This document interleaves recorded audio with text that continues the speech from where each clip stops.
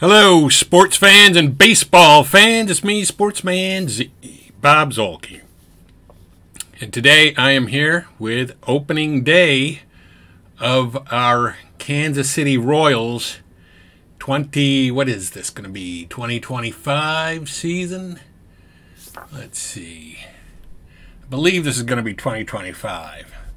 So, um, I was planning on doing an off-season video where I went through and we looked at all of the transactions that the GM for Kansas City made for us as he, you know, as they were made. But my experience with those types of videos is that they don't do well and people aren't that interested in them. So I'm just going to recap what they did, what the uh, GM did and who we got and who we lost so we're going to start out, and we did have a really big signing. I'm surprised that we got him being in Kansas City, but uh, we we lost Equy Rosario to Washington. We let John Means go in a trade with Cleveland. We let Chris Bubic go, so Bubic is gone. Um, we traded Angel Zerpa to Pittsburgh for center fielder Matt Gorski and um, that are those are the players that uh, the notable players that we let go. The players that we acquired, well, first of all, we extended Bobby Witt Jr., so that was nice. That was another thing I was surprised to see. I mean, they did it in real life, but they also, you know, the GM did it here. Um, we traded three minor leaguers to Pittsburgh for catcher Henry Davis, which is good because I think that Salvy is probably running down on his, um, you know, career. It is almost over.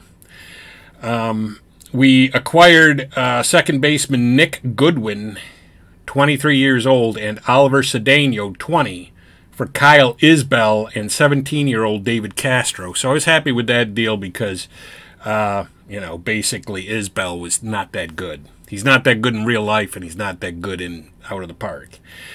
Um, and we acquired 25 year old center fielder Connor Knox for Franmil Reyes and minor league catcher Carter Jensen, which I'm also fine with because Franmil Reyes also was not that great. But the big signing, the big kahuna, the big deal that he made was he went out and he signed Juan Soto. We've got Juan Soto, people for eight years. He signed an eight year, $37,600,000 contract. So I'm surprised that being in Kansas City, we were able to swing a contract like that, but I'm going to take it. So uh, we still have an inexperienced pitching staff. Let me go over the pitching staff. We'll go down here and we'll go to the pitching staff. So you can see the starters are going to be Brady Singer, as we had last year, Mr. Brady Singer, and last year he had a 501 earned run average for us. Um, we have Royber um, Salinas, and last year he had a 193 earned run average for Kansas City, but he spent most of last year in the minor leagues. We have Juan Daniel Encarnacion. Um, he did not spend any time last year in the major leagues. We have Randy Vasquez in the starting rotation. Again, he did not spend any time in the major leagues last year. And then our fifth starter is Jody Brito, and again, did not spend any time in the major leagues last year. So the only two guys that spent any major league time last season for us in our pitching staff uh, is Brady Singer and Royber Salinas, who only was very briefly in the major leagues. So we have an untested rotation. But let's look at the lineups. And the lineup versus right uh, is going to be Michael Massey at second, Bobby Witt Jr. at third base, Salvador Perez at catcher, Juan Soto batting in the cleanup spot. I've got him. Uh, Vinny at first, Gavin Cross in right, Diego Hernandez at center, MJ Melendez at DH, and Xiang Xing Ken Chen at shortstop. Most of these guys we had last year. This is pretty much, you know, except for the shortstop, whose name I'm really having problems with, and uh, Juan Soto. I think we pretty much had all of these guys last year at some point. And then uh, you look at left-handed; it's not really much different. Um, Cayden Wallace is in there, and uh, he was not in the majors last year. But by and large, the lineups are the same. It's just the pitching staff is very untested. And so, with that, we are going to play the first game of the season, opening day, because I know that when you you know watch my channel, you're looking for a game, and so I knew that, and I knew that I could not just have an off-season discussion, so I tied that into the first game of the season on opening day. They will have, uh, I've already gone over our lineups, um, but uh, the Twins will have Royce Lewis batting first and playing second base. Luis Arraez will bat a second and be at first base. Teoscar Hernandez will be in right field batting third. Evan Carter, who is in on the Rangers in real life, will be in left field. Carlos Correa will be at shortstop batting fifth. Josh Bell will be the DH for them. Byron Buxton in center field will bat seventh. And Matt Chap- Chapman will be the third baseman batting eighth. And then Christian Vazquez is going to catch for them. And so that's how we're all going to line up, and we're going to start the game here in Kansas City. It's our home opener. It's our opener, opener, opener, opener, the opening day game. And so we are going to pitch to the batter and they're going to look around the stadium as they do the quick tour around uh, Kauffman Stadium. And uh, hmm, that's not a really good view. All right, we're going to have to change that view. So I think that was looks like maybe a, a base hit. So let's let's change this view. Initial camera view. Um, we're going to go wide camera.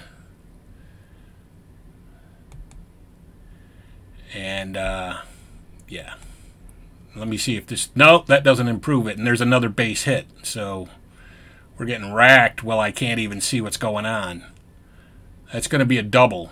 So there's runners at second and third. We got to improve that angle, that look. Um, let's see. Initial camera view pitch camera view, we're going to go um, home plate camera. No, we're going to go center, center field camera. Uh, that is not what I wanted. Oh, man. All right. Let's go...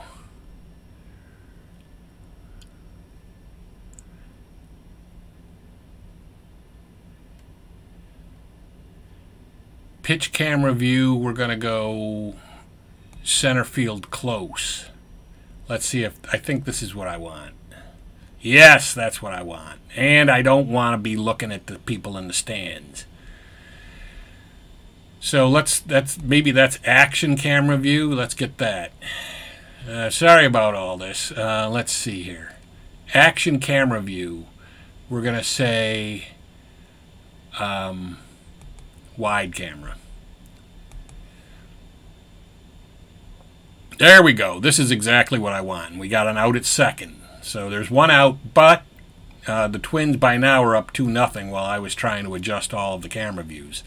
And then there's a walk. So Singer is off to a terrible start here on opening day. And uh, that's going to be a ground ball to the shortstop, and he does get the out at first. And so we're out of the inning, but the Twins got two quick runs in the first Remember, though, we now have Juan Soto, and we're going to be facing Joe Ryan. Michael Massey will be the first hitter, and he's going to strike out.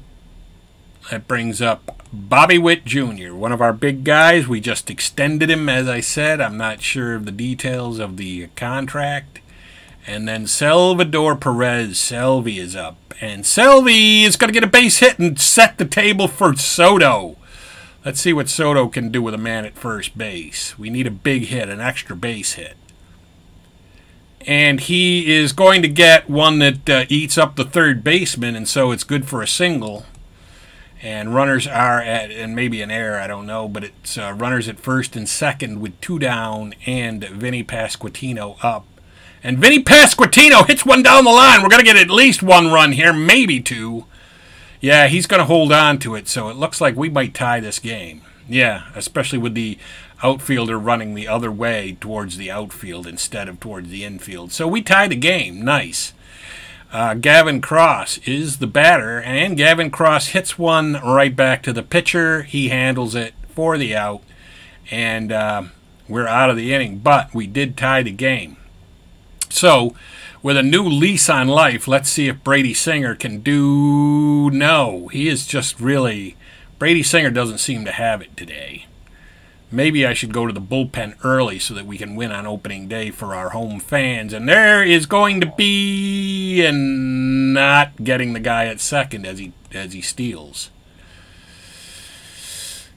That's going to be a pop up on the infield though, so that's good. One down, man at second, and Royce Lewis back to the top of their lineup because they batted pretty much around last time. And did we get him? No, he's safe. Oh my God, Singer, you're terrible. That is going to be nobody. He, I mean, the second baseman just holds the ball. So yeah, I mean, why don't we do that? That works.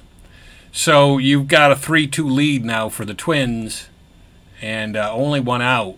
And then uh, that's going to be a fly ball to right field. So there is two down now and uh, runners at first and second, and Evan Carter is the batter. And Evan Carter is out. Thank God. Thank God he didn't let that drop in front of him. But the Twins did get another run, and they take a 3 to 2 lead here. And we have Diego Hernandez up. Hopefully, we've got a lineup that can. Nah, God, he's out on a great play in right field hopefully we have an offense that can, uh, you know, a lineup that can outscore what our pitching allows because our pitching is probably going to be a rough point this this game, this uh, season. So two down, but he hits it right back through the box for a base hit. So our shortstop is aboard, and Michael Massey is up. Michael Massey is supposed to be a pretty good hitter, and he walks. So we've got the first two guys on with Bobby Witt Jr. Come on, Witt. Oh, you struck out. So we got no runs. We're going to the top of the third. I'm going to try to get Singer through at least the third. I mean, I would like to see him go five, but if he keeps giving up a run every inning, we can't really, that's not sustainable. Uh, Josh Bell is up. Not a big contact guy. Josh Bell isn't. And he does hit it deep, but it's right to the center fielder who makes the play. And there's two down. And Byron Buxton is the batter. Dangerous hitter when he is healthy, but he has a problem staying healthy. He walks, and Matt Chapman is up. Matt Chapman is going shopping at the Gap, and they might get a run on this. I'm going to have to probably take Brady uh, Singer out of this game unfortunately, because this is really not a sustainable thing. I mean, we have a chance to stay in this game. There's two outs. Christian Vazquez up, not a good hitter, and he strikes out. So, with us coming to the plate, I am going to get the bullpen going because Singer just doesn't have it today. Um, let's get. Um, let's get Ty Blach up and warming. And so we're going to go back to the game with him warming up. Facing Joe Ryan, we have Salvador Perez. Salvy is going to get a base hit and set the table again for Juan Soto, who hopefully can get on again. And uh, Soto up at the plate. Got a hit last time. And this time he is going to fly out deep to left field. So Pasquantino is up. He had a hit last time. We strung some hits together, which is something we've had a problem doing in past years. And he does it again. He gets a hit between first and second. And uh, Salvador Perez amazingly makes it to third base on that hit. So we have run, eh, eh, really, you know, and um, went to second on that. So one out, runners at second and third, and Gavin Cross, the batter. And he is going to fly shallow so that nobody can score. Thank you, Gavin Cross. Diego Hernandez, the center fielder, is up. He's going to rip a base hit. So maybe this ties the game. You would think it does. And it does.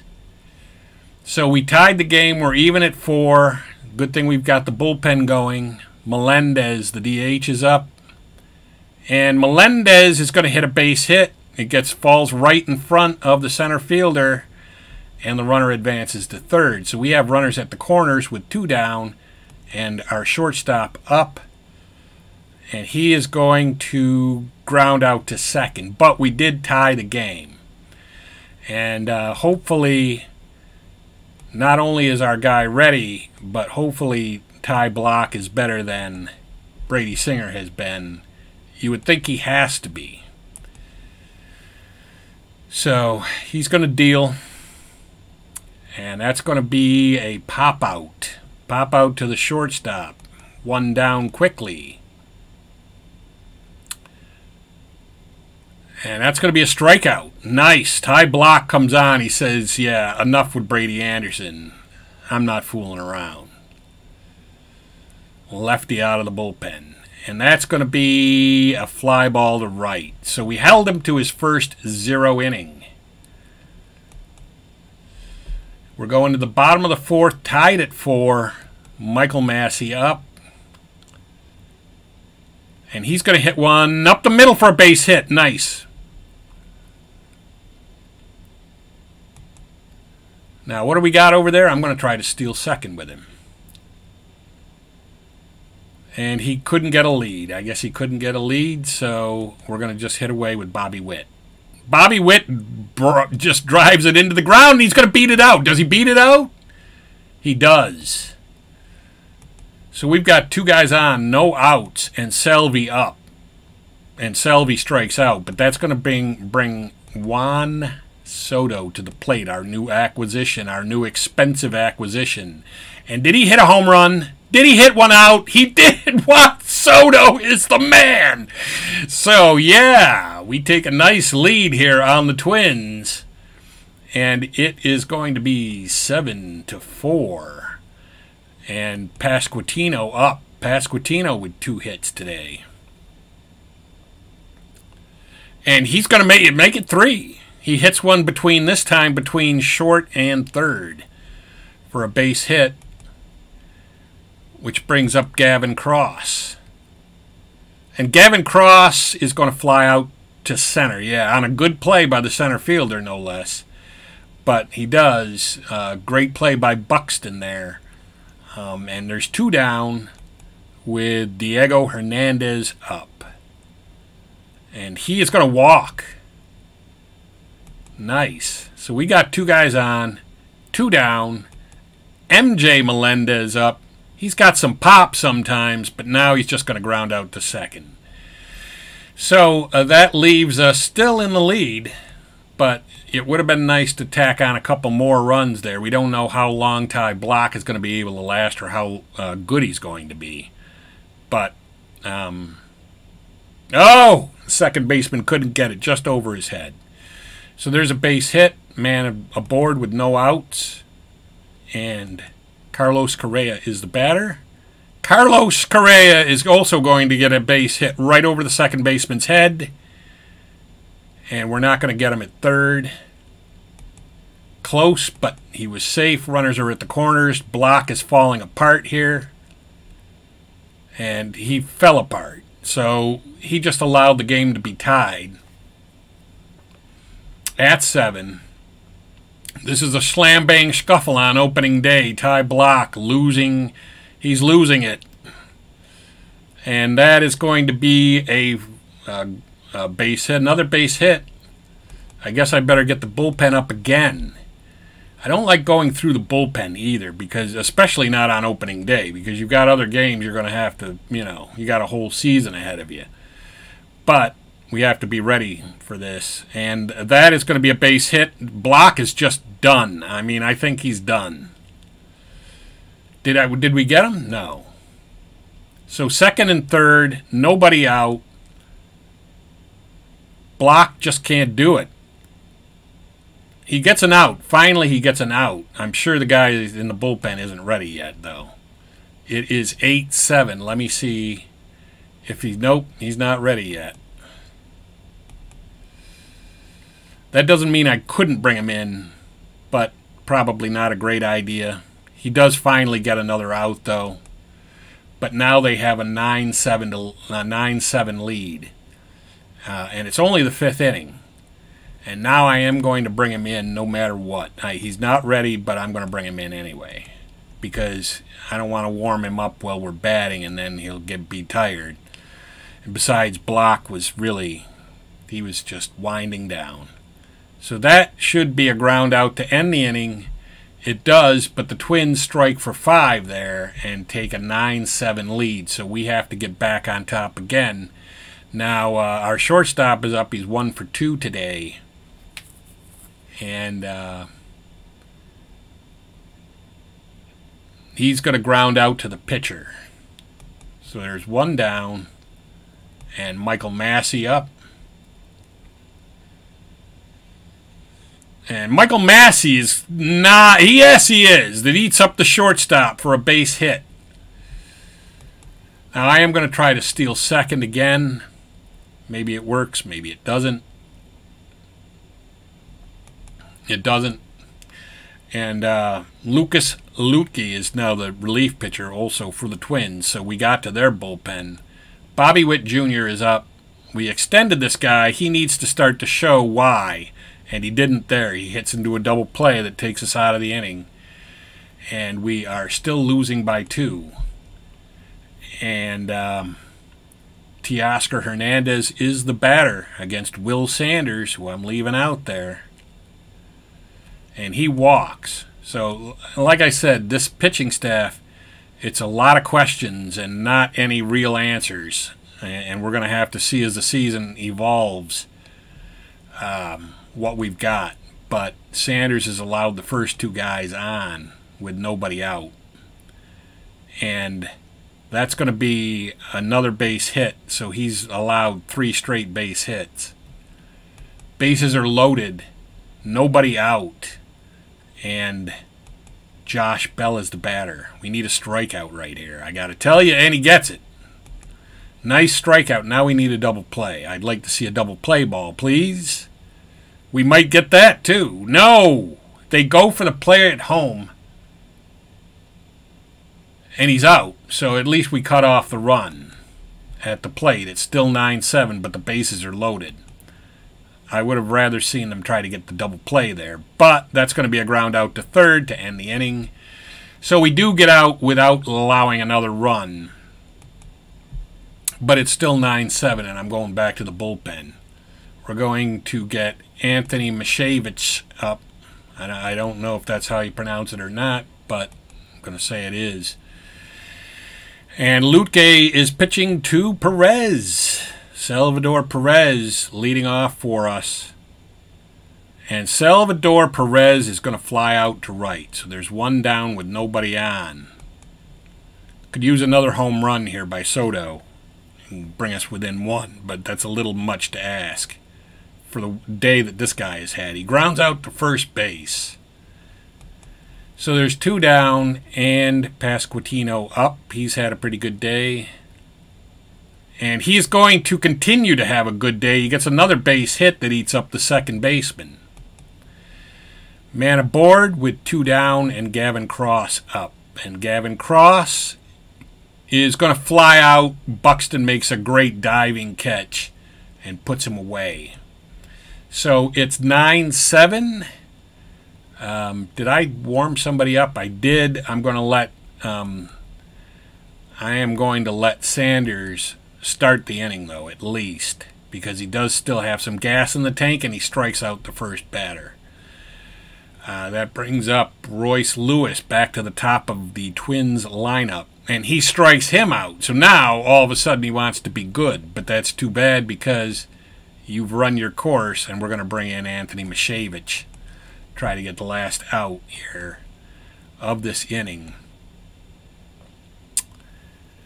and then uh, and then we got to go and try to regroup and get two runs. But no, that's going to be a double in the gap. Uh, at first, I thought it might be a home run, but it didn't quite have the distance. That's going to be a triple. It's not going to be a double. It's going to be a triple. Did we get him?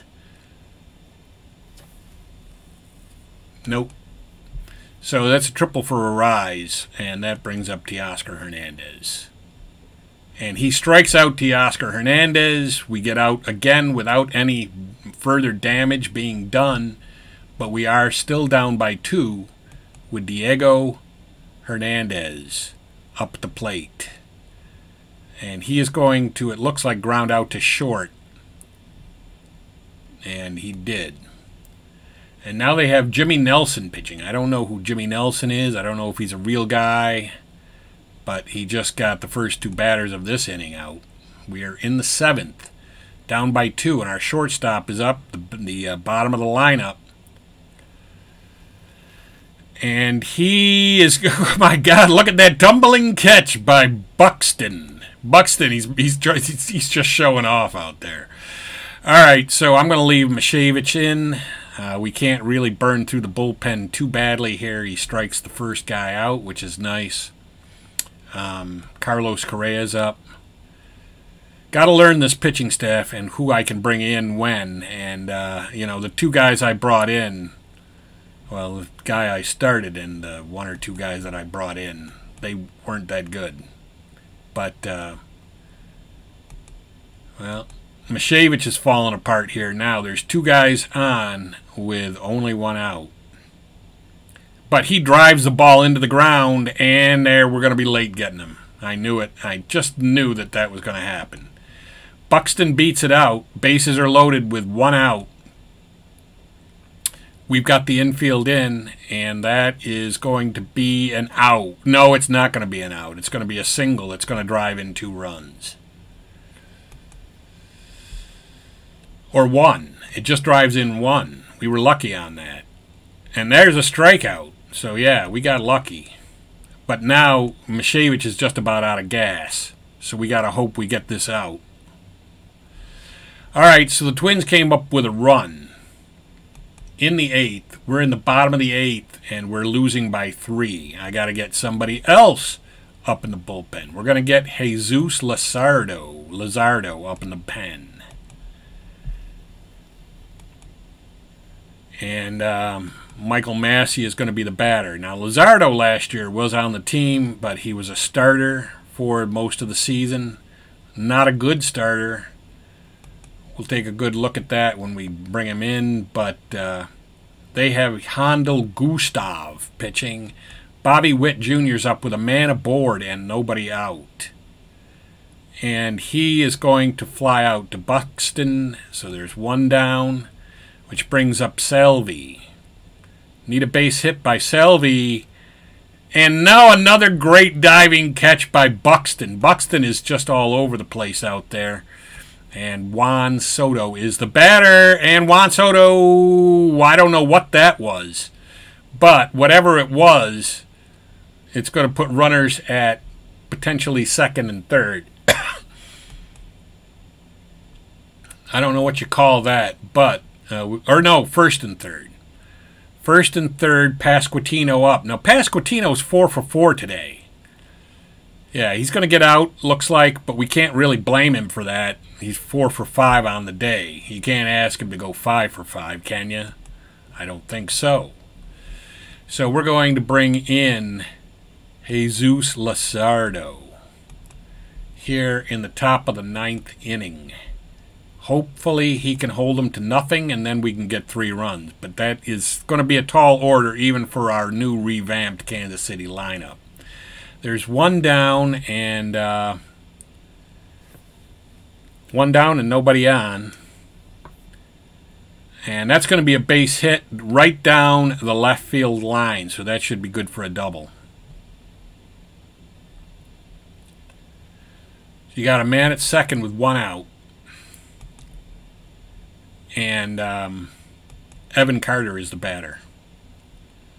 Evan Carter drives the ball into the ground, and of course it's going to be late. The second baseman doesn't even bother with a throw, in fact. So runners are at the corners with one down.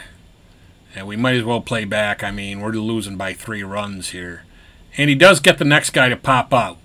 So that's good. All he's got to do is get this last batter. It's Josh Bell. He's not a big contact guy. And he does get him. He strikes him out. And we are still down by three. But that's a tall order. And they bring in Jhoan Duran. I know that guy. I know he's real for sure and uh, and he's pretty good. And that's going to be an error on the first baseman. So our first batter reaches on an error, which brings up Diego Hernandez. And Diego Hernandez is going to um, hit into a fielder's choice. So he's aboard with one down. And MJ Melendez, the DH, is up and he's going to walk. No, he's going to strike out. Ah, dang. All right, there's two down, and the shortstop's up. Might as well let him hit. I mean, he got a hit today, but he strikes out. So we lose a heartbreaker on opening day, 10 to 7. And we're going to take a look at the box score as we always do. Hitting wise, we were good. We were 16 for 43 batting, um, seven RBIs, two walks. Uh, but we left 22 guys on base. That's not so great. But the pitching is what really killed us. Singer only went three and he allowed seven hits and four earned runs. Blach went an inning and two thirds and allowed five runs. Sanders went two and allowed no runs, but he did allow five guys on base in that two innings. Or no, no, uh, three guys on base in that two innings. Misiewicz went one and a third and allowed a run, and then Luzardo came on uh, for the ninth. He pitched an inning and allowed two hits. So the pitching is still it's going to be a problem. It looks like, and then we go back to the standings. Of course, though we're 0 and 1, we know that. So uh, that's where we stand. We're 0 and 1, lost on opening day, and that is going to be it for me. Sportsman Z, Bob Zuhlke, signing off.